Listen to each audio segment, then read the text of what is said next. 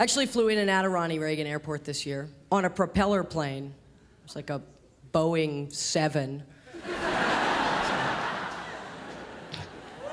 It's a, it's a real trick for me to get on, on a tiny plane like that. I have a horrible fear of flying. I get on the plane, I fasten my seatbelt, and I do not unbuckle it for the duration of the flight.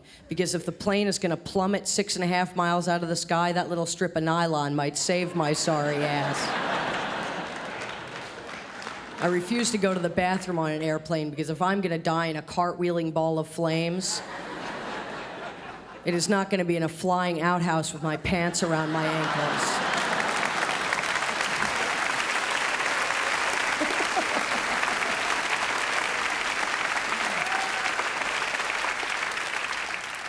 Sit in my seat and read the emergency information card over and over. They can get rid of page three. That's the water landing section. There is no useful information there. At the top, they show you how to use your seat bottom cushion as a flotation device. I don't want to present myself as a genius, but if I am drowning and something is floating, I will figure out how to operate it.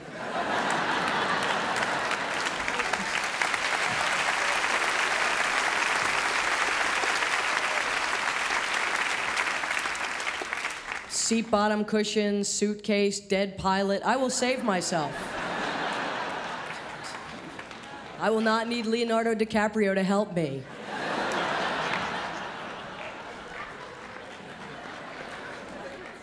then they show you how to exit in the event of a water landing. I think we've seen exactly how likely they are to be able to land one of these puppies in the water. I'm pretty sure I'll be exiting as I land.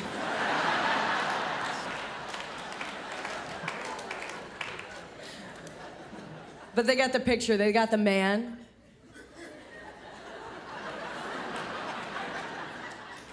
Jumping calmly out onto the escape slide. Always a man. There's a woman waiting patiently to go next. Always a woman. Because it's ladies first until the plane falls out of the sky.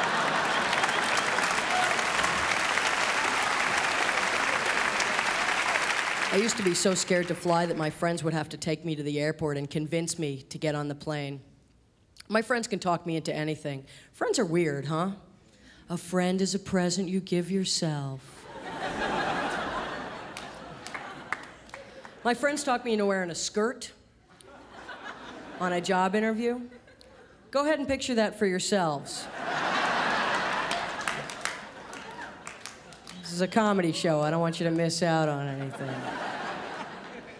I put on a skirt, I look like an old guy wandering around a steam room.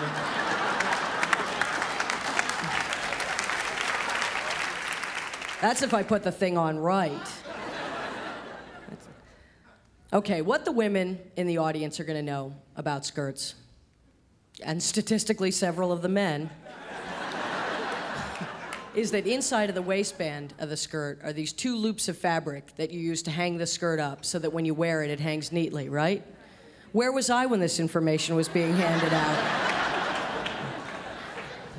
the day for the job interview rolls around, I pull my skirt down off the shelf, unfurl it, put it on, and now I'm trying to figure out what role in my ensemble these two ribbons of fabric play.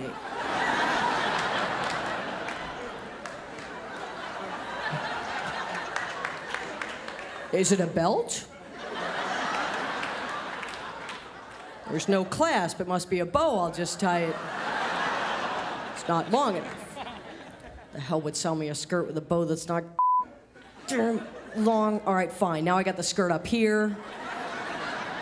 I got these things over my shoulders.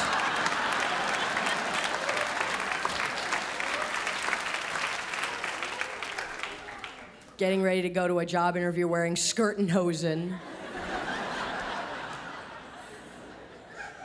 like the Von Trapp family job applicant. I made it from curtains. Do I get the position?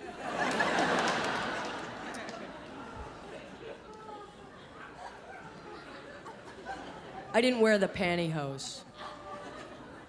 I mean, I made it certain sacrifice. I bought foundation and used it to cover up my tattoo, but the pantyhose just makes my leg hair look real funny. Okay, I think I've probably pretty much answered everyone's questions at this point. I didn't get the job. What was I gonna tell you guys? I've been so spacey today.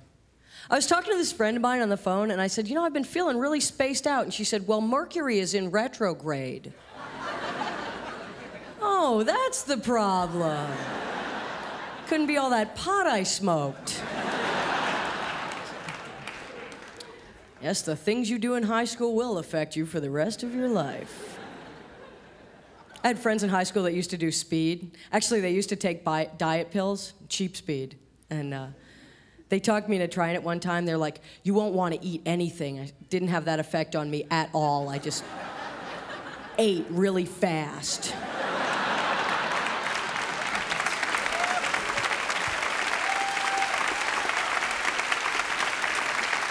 I saw this guy in a Harley Davidson today. I was sitting behind him on a stoplight, at a stoplight, and uh, it was one of those Harleys where the driver's seat and the passenger seat are separate. I could tell you the name of the model if I was just a little bit butcher. Very nice. Here we have a group of people who can recognize the word butcher as an adjective. she cuts her meat with a motorcycle? Let's move on.